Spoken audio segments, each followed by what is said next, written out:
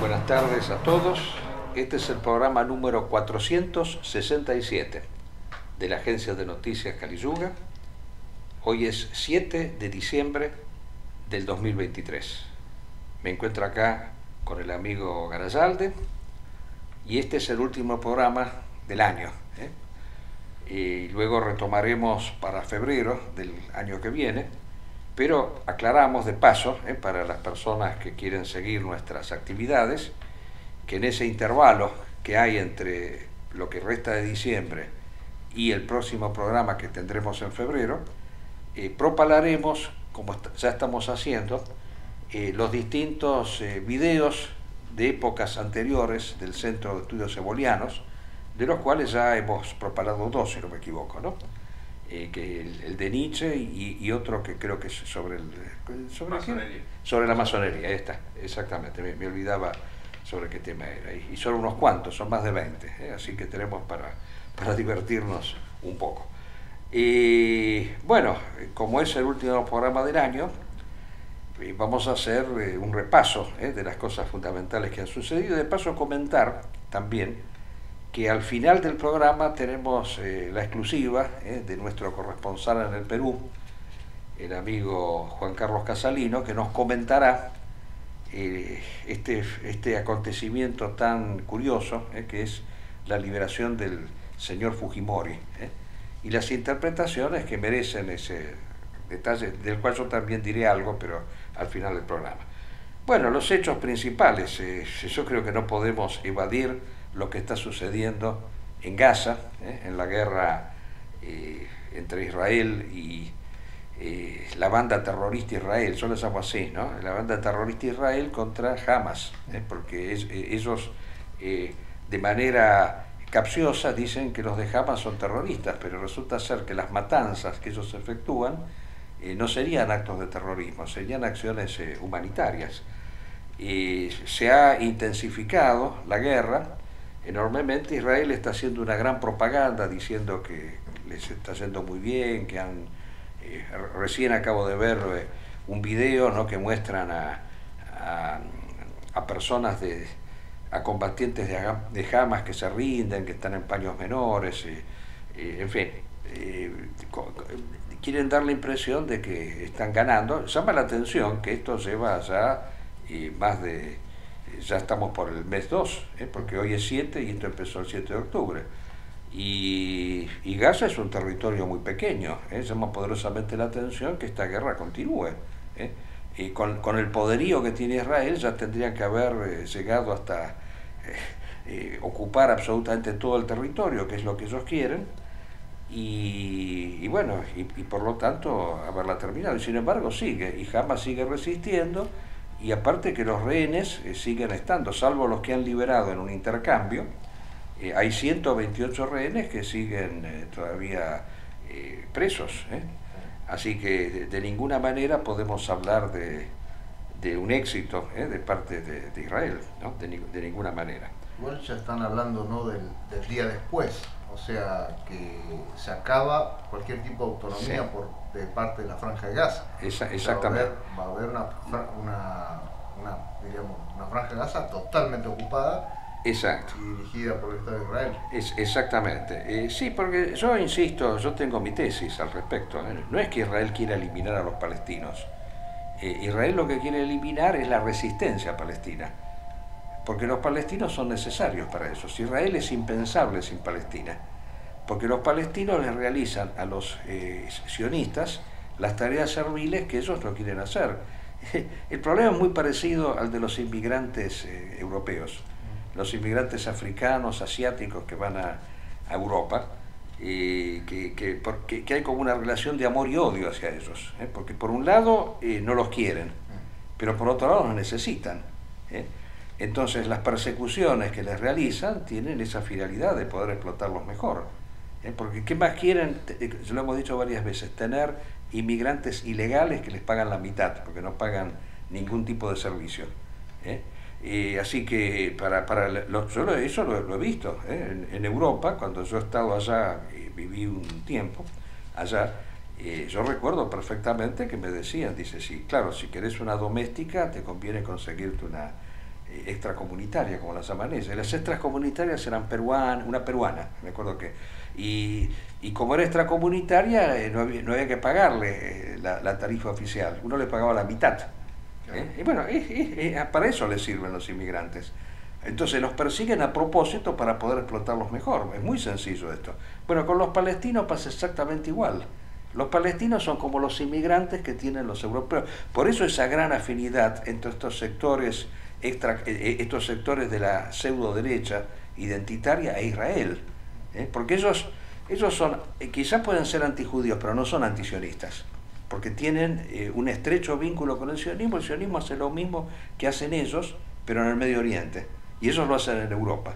Entonces de ahí está la afinidad entre grupos de Vox, grupos como el de Salvini, de Meloni, toda esta gente, eh, por algo están tan solícitos con Israel y lo apoyan tanto en la guerra, por algo están tan en contra de Hamas, porque obviamente es, es, el mismo tema que tienen en Europa, cuando a veces los extracomunitarios se rebelan por esa situación, como ha pasado en, Francia, por ejemplo, esas rebeliones que, que hubo en barrios de, París, y no, lógico, no, no, quieren que se rebelen, lo mismo que, jamás, no quieren, quieren seguir explotando los mejor, eh, sin, rebeliones. Y bueno, y esto se vincula a su vez con el tema de la, de la guerra de Ucrania, ¿eh? que nosotros hemos visto que ha habido una, digamos así, un bajón. No solo un bajón eh, propagandístico, porque uno puede decir, sí, la gente está más interesada en la cuestión de Gaza, que la de Ucrania. Y aclaremos que la guerra de Ucrania se lleva 652 días, ¿eh? o sea, eh, son eh, casi dos años. Si, calculamos, ya, dentro de poco son dos años, y de una intensidad sin límites. Y ahora, claro, nosotros nos acabamos de enterar que hay una merma de parte de Estados Unidos y de Europa en la ayuda a Ucrania, en la ayuda militar es más, eh, acabamos de ver que el Parlamento norteamericano, eh, eh, a, través de, los republicanos principalmente, ha vedado la ayuda a Ucrania por razones económicas. Y, claro, acá sí se puede decir que, realmente Israel ha cumple una función muy útil para Rusia. Eh, porque gracias a que existe esa guerra y que Estados Unidos tiene que hacer aportes económicos también a los, a los sionistas, eh, lógicamente el contribuyente norteamericano empieza a reclamar, ¿eh? ¿por qué tantos impuestos? ¿Por qué tanta, tanta plata? Eh, aparece tipos como Trump que dicen que son conflictos que, que, no tenemos nosotros nada que ver, América primero, bla, bla. y, y yo pienso que hay una estrecha relación entre Rusia y, y Estados Unidos, y, perdón, y e Israel, porque gracias a Rusia Israel existe, hay que decirlo con claridad. ¿eh? Y esto es una retribución que Israel le hace a Rusia, eh, eh, llevando a cabo esta guerra también. Porque fíjense ustedes, ¿por qué decimos que gracias a Rusia Israel existe? Esto es algo que hay que decirlo de una vez por todas y terminarla de, de pensar que el señor Putin es antisionista. De ningún modo. gracias a Putin y a, y a toda esta nomenclatura rusa que vino después de la caída del comunismo, eh, Israel ha multiplicado su población con 3 millones de inmigrantes rusos que se han instalado en Israel.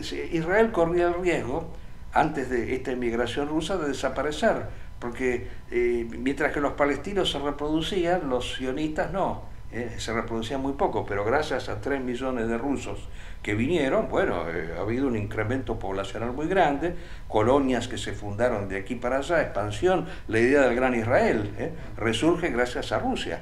Entonces es obvio que el señor Netanyahu le tenga que hacer una, una retribución a... a sí, ahí, retomo un tema que, que usted lo habló durante el año, que fue importante, que es que Europa... Eh, actúa siempre en la medida de, su confort económico, ¿no? Y usted en su momento, me acuerdo que había dicho que, ante una amenaza este, de una guerra nuclear, es como que el apoyo europeo a Ucrania iba a mermar, ¿no? O sea, obviamente que en un principio despertó muchísimas, eh, muchísima simpatía en lo que estaba pasando en Ucrania porque había civiles que estaban siendo asesinados por los ataques, este, diríamos, de Rusia. Y eso provocó así una ola de indignación y obviamente un enemigo histórico de los Estados Unidos, este, Estados Unidos apoyó a Ucrania, que además le convenía también dentro de ese esquema. Y lo interesante es que eh, hay un problema mayor que siempre ha tenido Estados Unidos y es siempre una cuestión de, política estratégica, que es la cuestión del Islam y del fundamentalismo. Y eso lo hemos tratado en programas anteriores, cuando hablábamos del Torre Gemel, todo eso, el tema de la obra de Samuel Huntington, que hablaba, que en un principio decía que los nacionalismos, principalmente las líneas fundamentalistas, eran los peores enemigos de los Estados Unidos. Antes de morir Huntington dejó eso, y el problema de la inmigración en los Estados Unidos, creo que fue sobre el último libro que escribió antes de morir, pero antes era el tema del fundamentalismo. Y Europa siempre apoyó a quien le servía de muro de contención a sus, a, sus mayores temores. El, antes de la Segunda Guerra Mundial, su mayor temor era el comunismo, ¿no? que venía y arrasaba con, con, todas las, con toda la fábrica, con todos los directores de empresa, o sea, barría todo para instalar un, una nueva, diríamos, una nueva dirigencia política en un país. Era el terror. Entonces apoyó a Hitler. O sea, se dejó que Hitler tomara Yugoslavia, que avanzara un montón de lugares, mientras sea ese muro de contención. Entonces, mm, era un apoyo crítico, pero era un apoyo. Hoy, ¿quién es el, el muro de contención contra el Islam? El Estado de Israel. Y por eso la derecha hoy apoya esa, esa derecha sionista apoya el porque es el muro de contención al Islam. O sea, el que, el que puede impedir que se conformen núcleos islámicos, porque, cultura islámica, que es el problema que tiene Europa, una cultura islámica que, que se refuerce, que se reafirme y transforme lo que le rodea. Eh, eh, y esos núcleos están instalados en distintos lados de Europa y el terror de la derecha europea. Totalmente de acuerdo. es que eso no es derecha, ahí, está el tema. Porque, o sea, son, defensores de la modernidad, más o menos como acá este fenómeno de este fasasesco personaje que va a subir antes, porque después lo vamos a hablar después. Y no es derecha, esto es eh, izquierda, porque es, es, una defensa del sistema. ¿eh? Nosotros hemos permanentemente resaltado el vínculo estrecho que existe entre el fundador del sionismo y la, eh, la cultura europea moderna, el romanticismo. Y el iluminismo, o sea, todas estas expresiones de la modernidad son heredadas por el sionismo y, lo dice expresamente el señor Hertz. Nosotros somos la, bandera de Occidente en el Medio Oriente para impedir el, crecimiento del Islam, pero eso es clarísimo. Y, el, eh, y, el sionismo evangelista que hay en los Estados Unidos también sostiene exactamente igual, que el enemigo principal para ellos es el Islam. E Israel tiene que ganar para destruir al Islam. Y entonces una vez que destruye el Islam, que sería, según esa, esta cosmovisión patológica, la expresión del anticristo, entonces ahí eh, aparece eh, la, segunda venida de Jesús. ¿eh? O sea, pero, pero para eso previamente tiene que constituirse el Estado de Israel y destruir el Islam. Es clarísimo eso. Esa colonización este, evangélico-sionista que ha caído en los Estados Unidos, que tiene décadas y décadas, ha funcionado pero a la perfección, porque realmente salen corriendo cada vez que algo pasa en el Estado de Israel. Exactamente. O sea, uno dice, ¿pero qué pasa? es una relación como no, no, son, es una, es una derecha, es una pseudo derecha sionista. Claro, pero, ni, siquiera projudía, porque, porque... ni siquiera es la madre patria de los Estados Unidos. ¿Por qué esa devoción por ayudarla? ¿Por qué esa decisión de decir, no ayudo más a Zelensky, que desde el punto de vista económico aporta muchísimo más por, porque es uno de los graneros del mundo más importantes del mundo, que lo que le hizo Israel? Sin embargo, a Israel le pasa algo y Estados Unidos corre rapidísimo. rápidamente a, Como nunca. Y, Europa también, Europa también. Bueno, y, pero fíjense qué curioso que este señor Zelensky, del cual vos acabas de mencionarlo, y parece ser que viene a la Argentina a asistir a, a, la asunción de Miley. Bueno, eso es un dislate tremendo, hay que decirlo claramente porque Milei ha quedado claro, ya especialmente apenas asumió lo puso en claro totalmente, o sea que no, no, no es que estemos diciendo algo secreto, eh, que Milei es un agente del sionismo, eso lo ha dicho claramente, él ha manifestado que el Estado de Israel es su modelo, que fue a, fue a Estados Unidos a, juntarse con la secta Lubavitch, que es una secta ultracionista y religiosa al mismo tiempo. Porque claro, hay, hay, dos religiosidades, o sea, una que considera la tierra prometida como el cielo y otra que sería esta, secular, e, esta religiosidad secularizada que considera que es la tierra, eh, o sea, es esta tierra, no el cielo y, que Israel es el pueblo elegido para ser el rey del mundo. Eh, la, idea es esa, el imperio universal judío, eh, pues, llevado a cabo por Israel. Y, por lo tanto, bueno, las fronteras de Israel son ilimitadas, no es solamente el Medio Oriente, sino el mundo entero. Eh, y tiene que estar gobernado por Israel. Esa, esa, es un poco la tesis sionista extrema, religiosa, que comparte el señor Milei. Entonces yo me pregunto, ¿cómo puede ser que el señor Zelensky, por lo que acabamos de decir, eh, que ha sido de alguna manera perjudicado en su guerra por parte de eh, Israel, eh, en la medida de que al, Israel, al haber Israel profundizado el conflicto con Hamas, le ha quitado subsidios y, ayudas económicas a su propio país para hacer la guerra, pues venga aquí a, a, participar del acto de un emisario abierto de Israel. ¿Eh? de una persona que viene a constituir Israel en la Argentina, porque lo ha dicho claramente. ¿eh? Eh, yo, quiero entrar acá, ya que estamos, si me permitís, porque yo directamente estallo, de, solo verlo a este tipo ya es una cosa que no, me, cuesta. ¿no? Yo soy una persona tranquila, mesurada, pero cuando aparece este personaje ya creo que ha tenido la, la virtud de sacarme de las casillas. Y fíjense que este señor ¿no? dice abiertamente que quiere sostener, eh, tiene como modelo el Estado de Israel, pero al mismo tiempo, al mismo tiempo, él sostiene la ideología anarquista. Entonces quiere destruir el Estado argentino. Eh, esa, esa, es la tesis. Ahora, al respecto, eh, se ha dado todo un debate acá, ¿no? que yo hasta ahora no he visto que nadie dijera lo que yo voy a decir ahora. El, el, debate es el siguiente, ¿no? resulta que él decía que iba a eliminar la casta, ¿no? pero una vez que llega al gobierno, nombra a un montón de políticos de la casta a su alrededor. Bueno, entonces eh, enseguida se dice, ah, sí, es un oportunista, es uno más, ¿eh? mucho se tranquiliza. Bueno, al final era uno de los tantos. ¿Y por qué no pensar que, que, son estos políticos los que se equivocan y que hacen el juego, le hacen el juego a alguien que quiere destruir el Estado y constituir eh, una colonia sionista en la República Argentina. ¿eh? Porque esto me hace recordar a lo que decía Lenin ¿eh? cuando manifestaba que en los momentos de crisis íbamos a aprovecharnos de la burguesía que nos iba a ayudar. Entonces, en este caso, estos políticos están ayudando a al, plan anarquista del señor Milley para, para destruir el Estado argentino. Porque aclaremos las cosas, destruir el Estado argentino. Para que la Argentina, bueno, la Argentina sea Palestina con respecto a Israel. Eso, lo que este señor quiere hacer de la República Argentina es Palestina. O sea, acá lo que se quiere constituir es una Palestina respecto del Estado de Israel que él quiere constituirlos acá en Argentina, una vez que como anarquista ha destruido el Estado argentino. O sea, el anarquismo del señor Milei es un anarquismo en función de la destrucción del Estado argentino.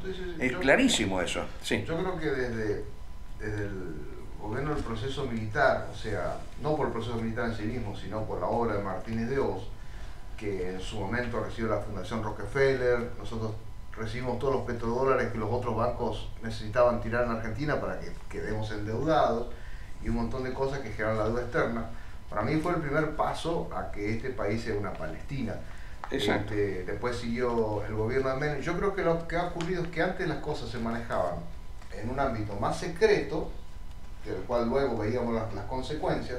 Eh, Menem firmando acuerdos que nunca nos enteramos de qué era hasta este, décadas después este, la, rendición de Malvinas, este, la entrega de todo el patrimonio militar, o sea, un montón de cosas que nos fuimos enterando una década después. Eh, yo creo que hoy la, presencia de mi ley viene a continuar ese camino, solamente que es más exteriorizado. No, eh, yo creo que esta es la primera vez, que, eh, yo veo este detalle, ¿no? Porque antiguamente cuando uno decía el plan secreto de los judíos o de los sionistas para eh, destruir el Estado argentino. Bueno, pero, esto es secreto, esto es abiertamente manifiesto. Es la primera vez que alguien dice esto directamente. ¿eh? y estando al frente del Estado, que quiere destruir el Estado argentino porque es anarquista, porque sostiene el anarquismo, anarquismo quiere decir sociedad sin Estado, y, al mismo tiempo constituir el Israel en la Argentina, tiene Israel como modelo. ¿eh? Entonces esto es clarísimo que, que, el, el, famoso plan del cual hablaban los protocolos y el sionismo y todo demás está acá puesto en evidencia. ¿eh? no, hay que, no hay que hurgar acá para, para, para ponerlo en evidencia. ¿eh? O sea, porque cualquiera que decía eso antes era un loco, un demente, eh, una persona, digamos así, desequilibrada. Pero, pero ahora lo están diciendo. O sea, el que va a gobernar dice eso directamente, lo, lo, dice abiertamente. Igual, más allá que, que es, o sea, como argentinos nosotros tenemos que rechazar cualquier tipo de imperialismo que quiera hacerse de nuestro país. Sea imperialismo sionista, sea el imperialismo norteamericano, el imperialismo británico, etcétera, etcétera. Nosotros tenemos que defendernos contra eso. Como usted bien dice, estos que, estos de la casta que ahora forman parte de este gobierno, este, en realidad lo van a si mi ley se impone, lo que va a hacer justamente es quitarle los medios a la dirigencia política de poder tener autonomía frente al exterior. Yo creo que... La autonomía que hoy tienen es una autonomía de corrupción. Exacto. O sea, son corruptos. O sea, prostituyen el Estado. Pero tenemos autonomía. Tenemos autonomía de, destruirnos nosotros mismos. El tema es que Mile va a romper esa autonomía. No, vamos a tener ni siquiera autonomía para, para ser corruptos. Exacto, ni para hacer las cosas bien. No vamos a tener autonomía. y ese es el gran problema. Y va a haber un imperialismo que va a ser el que va a dictar las reglas acá. Sí, él, él está usando a la casta. Yo, yo creo que ahí está el tema. O sea, es al revés de lo que se dice. O sea, pero dice, sí, sí, al fin y al cabo es Macri el que está. No, no, no. Él está usando a la casta para las cosas hacerlas, digamos así, más leves. ¿eh? Eh, no, no, tan directas, pero, pero en el fondo apunta a eso, a la destrucción del Estado. Y, lo último que quería decir de estas chicas Villarruel, que ha quedado demostrado una vez más eh, el, carácter payasesco del nacionalismo argentino, porque ella era la exponente de, esta derecha nacionalista católica.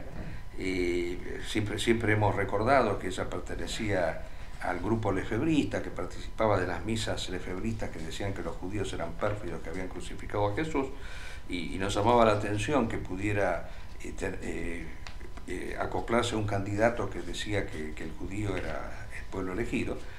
Y bueno, evidentemente ella consideraba que los podía engañar, pero no, resulta que se dieron cuenta y, la, sacaron del medio prácticamente, porque la dejaron ahí como eh, campanillera del, del Senado. ¿eh? O sea, le iban a dar seguridad y defensa y no le dieron absolutamente nada.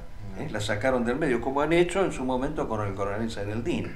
¿eh? Menem hizo lo mismo con el coronel Zaireldin eh, los usó prácticamente, perdón la vulgaridad, como un preservativo, ¿eh?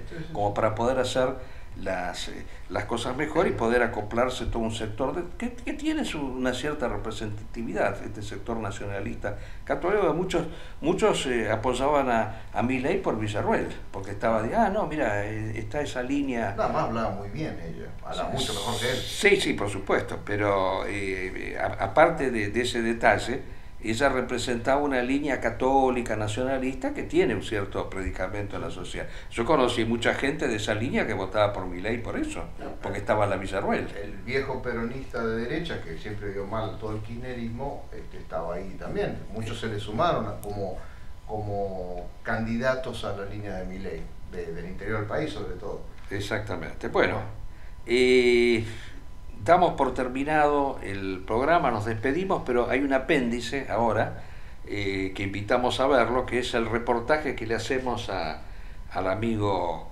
eh, Juan Carlos Casalino, eh, que nos va a explicar un poco esta situación del Perú, porque esta liberación de Fujimori tiene sus bemoles, porque por un lado nosotros habíamos siempre resaltado al Perú que que tiene a todos los presidentes presos, ¿no? pero ahora resulta que lo liberaron a Fujimori, así que a mí me interesaría un poco analizar ese detalle con el amigo Casalino. Así que bueno, eh, nos despedimos para hasta el año que viene ¿eh? y esperemos tener mejores noticias el año que viene, ¿no? algo, algo lindo que comentar por lo menos. hasta ahora son todas pálidas, desgraciadamente. Bueno. Bueno, acá estamos con el amigo Juan Carlos Casalino del Perú, eh, que nos va a dar una visión realmente nosotros hemos quedado asombrados ¿eh? de que después de haber dicho que, todos los presidentes peruanos eh, estaban presos y que eso nos llenaba de envidia a los argentinos porque no tenemos uno solo preso, están todos en libertad, a pesar de haber delinquido de una manera estrepitosa, bueno, resulta que no han liberado a Fujimori. Hoy nos enteramos de eso, así que nos gustaría que nos dieras así un panorama ¿eh? del tema. ¿Qué nos puedes decir, Juan Carlos, al respecto? Eh, sí, en efecto, ayer liberaron al expresidente Alberto Fujimori y esto coincide justo con la eh, la destitución del presidente Castillo, del expresidente Pedro Castillo, el año pasado, que se dio un día como hoy, 7 de diciembre. O sea, justo está coincidiendo con, con, el evento de ayer, de la liberación de Alberto Fujimori. Y que este presidente, eh, ¿por qué ha salido de la cárcel? Porque el el año, fines del año 2017, el expresidente Pedro Pablo Kuczynski lo, le dio un indulto, lo indultó prácticamente y, y ya lo salió, ese mismo año salió también, justo por, por este mes de diciembre. Pero eh, la Corte Interamericana de Derechos Humanos observó esa, ese indulto, lo declaró ilegal y, y como era un gobierno de, de ese entonces del expresidente Martín Vizcarra, que era antifujimorista, lo decidió volver de nuevo a la cárcel. Ahora, una preguntita. de nuevo retornó a la cárcel. Una preguntita, Juan Carlos. ¿Qué, ¿Qué, es lo que se le imputa a Fujimori? exactamente. ¿Por qué está preso? Y porque hay varias eh, interpretaciones al respecto. O sea, hay unos que dicen que está preso porque robó y otros que dicen que, está preso por haber eh, violado los derechos humanos de, los guerrilleros, más o menos algo parecido a los militares acá en eh, Argentina. A ver, ¿qué, nos explicas al respecto? O sea, la sentencia no, no es por eso, sino porque por los casos eh, de las matanzas que hubo en Barrios Altos y en la Universidad La Cantuta, donde asesinaron a estudiantes, y, a presuntos senderistas y, la cosa que en el caso de Barrios Altos fue una equivocación, no, no, no eran senderistas, sino eran, eran civiles normales. O sea que en la ciudad de Lima y ya por esos dos casos prácticamente de, una especie de guerra sucia, algo así, antisubversiva, que, ah, que utilizaban esos métodos métodos que ya venían de, de, Estados Unidos, Estados Unidos con Kissinger, que hace poco falleció. Eh, él daba esos manuales de cómo combatir a la guerrilla, nuestros movimientos eh, subversivos, marxistas, maoístas. Ah, entonces, Y Fujimori aplicó esos métodos, esos métodos junto con sus generales, junto con Montesinos y y como fue, estaban fuera de la ley también, estaban fuera de la ley, ya las ONGs, eh, las organizaciones de derechos humanos ya lo han imputado, lo han imputado y, ya prácticamente por eso, por esos delitos lo, han sentenciado en la cárcel. Te, interrumpo, dos preguntitas cortitas. Uno, ¿cuántos años más o menos estuvo preso? Y si también fueron presos por los mismos crímenes eh, militares o solamente él. Eh, varios militares, eh, por ejemplo, un general Hermosa, eh, Martín Rivas, eh, el mismo Vladimiro Montesinos, varios otros fueron, fueron procesados y, en la actualidad están en la cárcel, están presos. igual que Fujimori, todos los han apresado.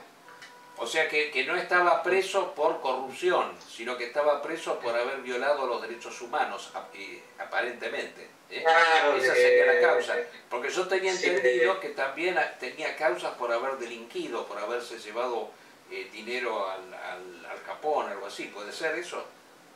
no? por eso ah. no, no, no, no hay una no hay una sentencia así por, por esos casos. Perfecto, o sea que, que la, la, causa de la condena, e, esto lo quiero que quede claro, la causa de la condena de Fujimori es por haber violado los derechos humanos en, en una época de guerra en contra de la subversión.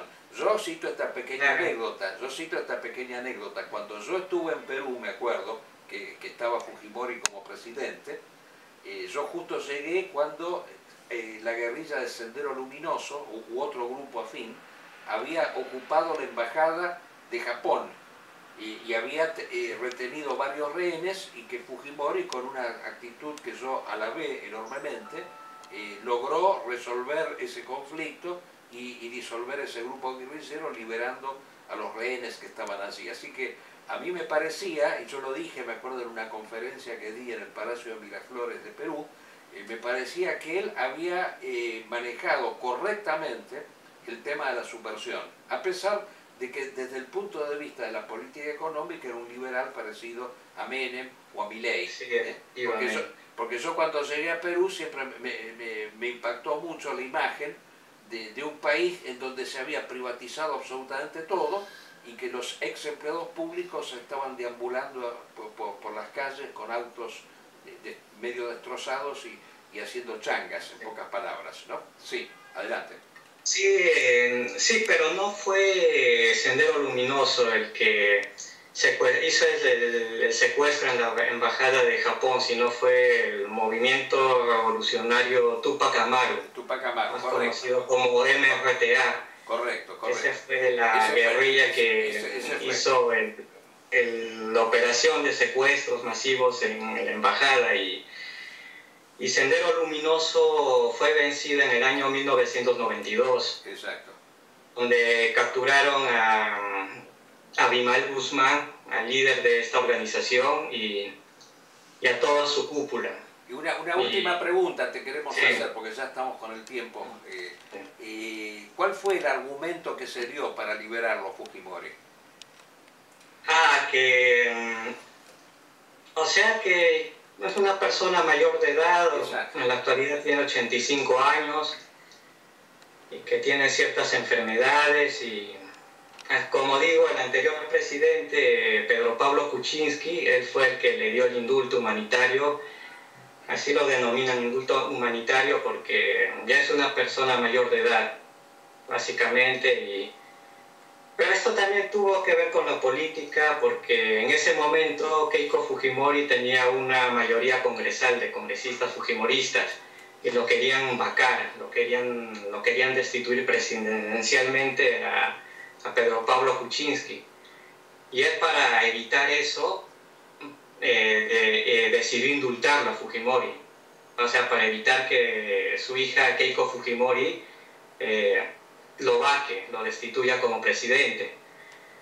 Pero cosa que no sucedió porque eh, al final dio el indulto, pero como esta su hija era demasiado ambiciosa de poder, igual operó para, para destituir a Pedro, a Pedro Pablo Kuczynski.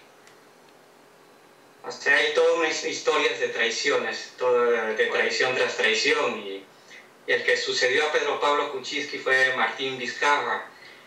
Pensaban que a él lo iban, a utilizar como un títere del Fujimorismo, pero no sucedió así, sino que este se volvió en contra de, Keiko Fujimori y, en, meses posteriores ella terminó presa. Ella terminó presa y, también terminó en la cárcel. Y está con procesos también judiciales y, y también añadir que Pedro Pablo Kuczynski también estuvo con arresto domiciliario. O sea, está también imputado por delitos de coimas, de sobornos por Odebrecht. Bueno, o sea, hay toda, toda una historia de, de, corrupción, de, de delincuencia, de, políticos em, mafiosos, ¿no? De, esta clase política delincuencial. Bueno, pero podemos, eh, eh, como, como conclusión final, lo que podemos decir es que, bueno, eh, el, motivo por el cual se lo han liberado es correcto.